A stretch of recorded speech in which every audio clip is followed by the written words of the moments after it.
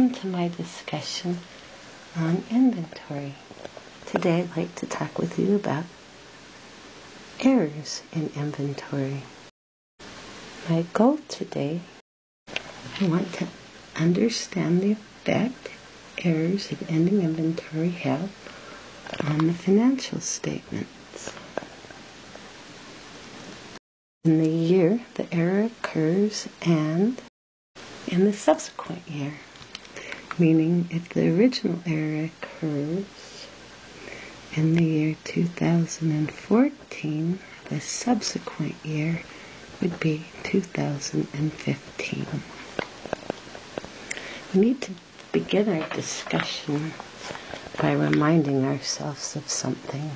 That is to note the basic way we calculate cost of goods sold and ending inventory going to remind you of our basic cost of goods sold calculation. Remember that we start with beginning inventory and we add to it our purchases for the entire period. Those two together, those two together give us our total inventory available for sale for the period and then we split that between ending inventory. Let's say in this case we have $20 left. The rest goes to cost of goods sold in our example 30. Now you can split it using periodic or perpetual. You can do FIFO LIFO or weighted average, but in some way you must split the total available between what's left and what's gone. What's left goes to the balance sheet as inventory, a current asset, and what's gone goes to the income statement as part of cost of goods sold. So let's notice a couple things.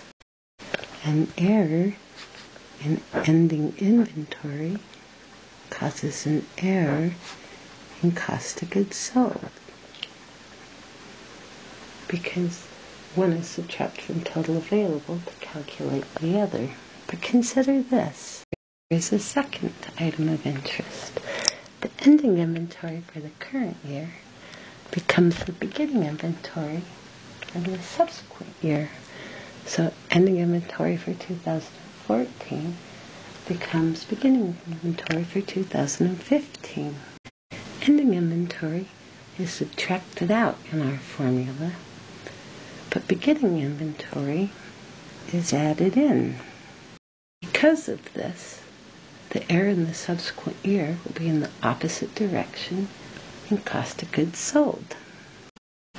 There's a good illustration of this in your book, so once you finish this pencast, go back to your book and hmm. look at that exhibit and think it through. Well, let's get started with looking at the effects of errors. Our balance sheet equation is always in balance. So, let's put some numbers in. We have $100 in assets $10 in liabilities, you would have $90 in owner's equity.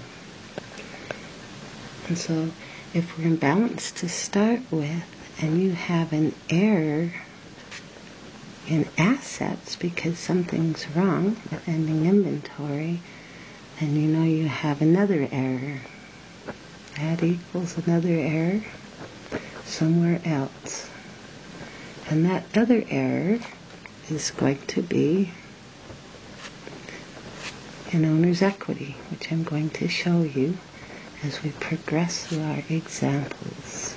So, let's get started by first looking at number one, an ending inventory error. And what do you say? Let's start with ending inventory being overstated.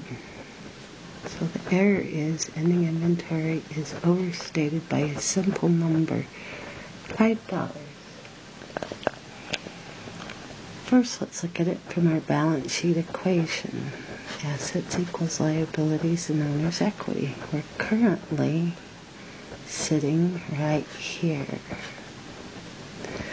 But we know our assets are too big by $5. Ending inventory is overstated.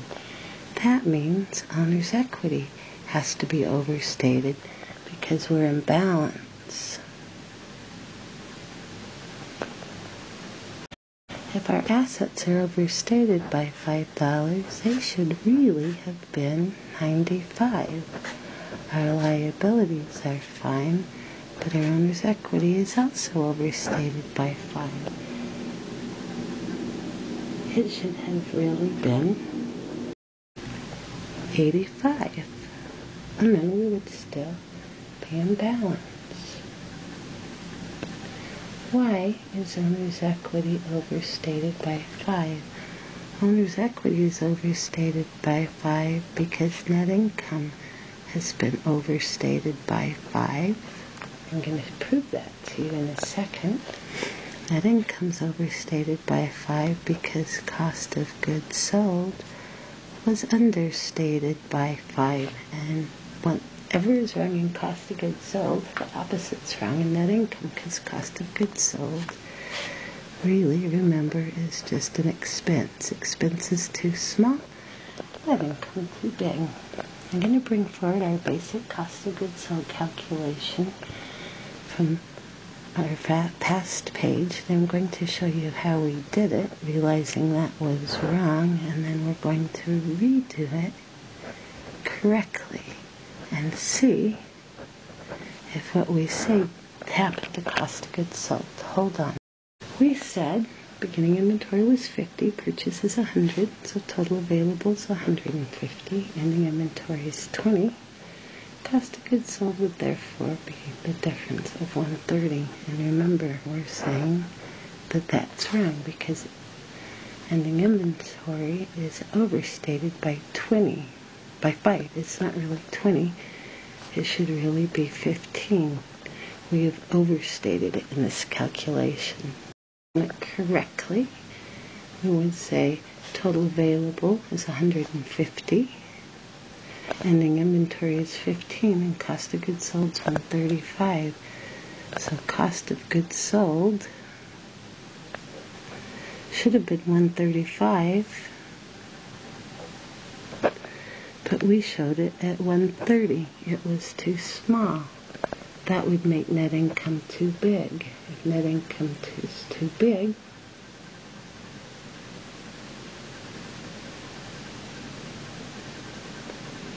we have overstated owner's equity by that amount. Owner's equity was too big at 90. It really should have been 85. So an overstatement in ending inventory causes an overstatement in owner's equity. This is wrong, and this this first line is incorrect, and this is correct. And the problem was caused by cost of goods sold and ending inventory. That shows you what it looks like when ending inventory is overstated. Let's do it again with ending inventory being understated. So in this example, we're going to say ending inventory is understated by $5. And let's start with that simple balance sheet equation. Says we're currently here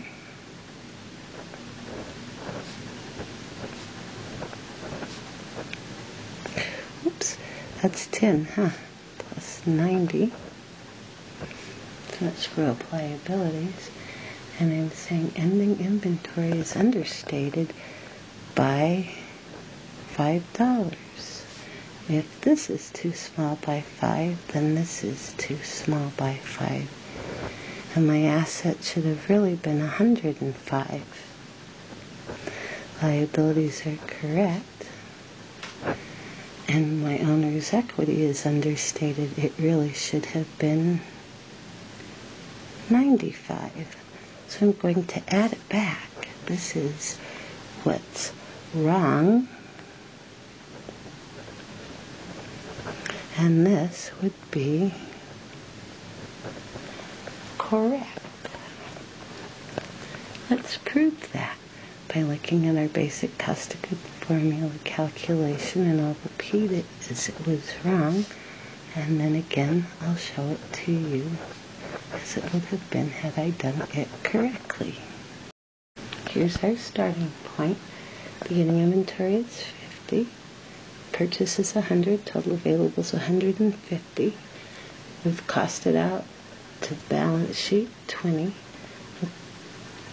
putting cost of goods sold 130 and that was wrong because ending inventory is understated by five dollars. It shouldn't be 20 it should be 25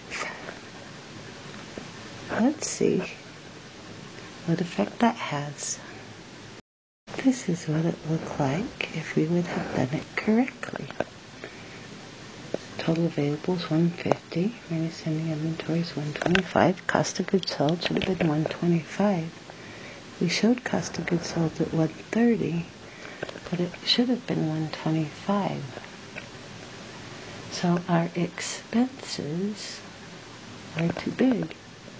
If our expenses are too big, cost of goods sold is too big. If cost of goods sold was too big, then net income was too small. And if net income was too small, it made owner's equity too small.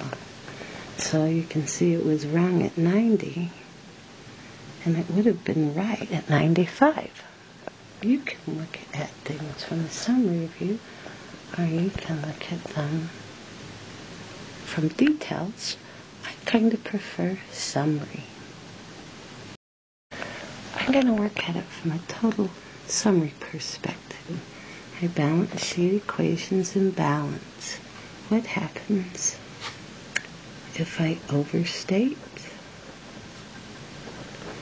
ending inventory? Well, assets are too big, so owner's equity is too big because I overstated ending inventory.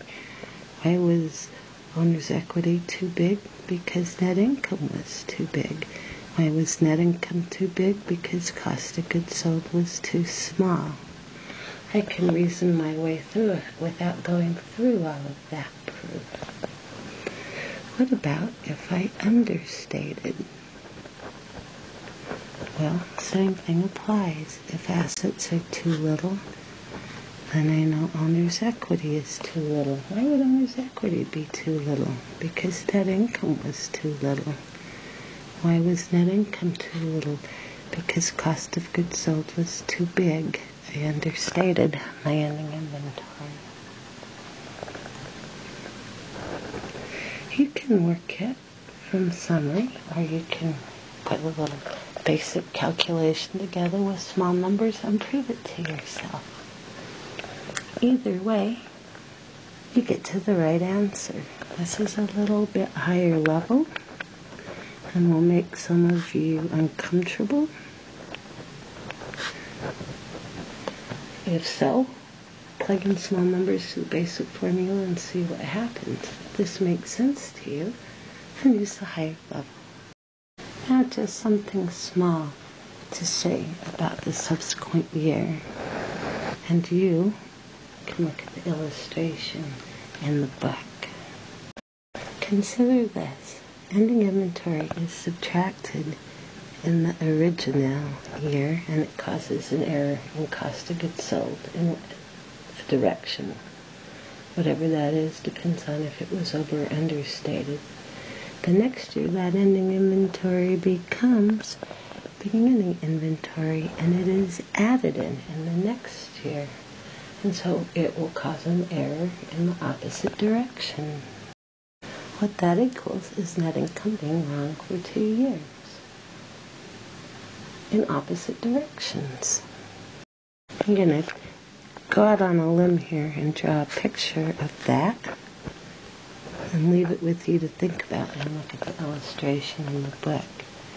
If net income is too big one year and too little the next year, that nets to no error in owner's equity at the end of two years because the first year, in my case, it's too big, and in the second year,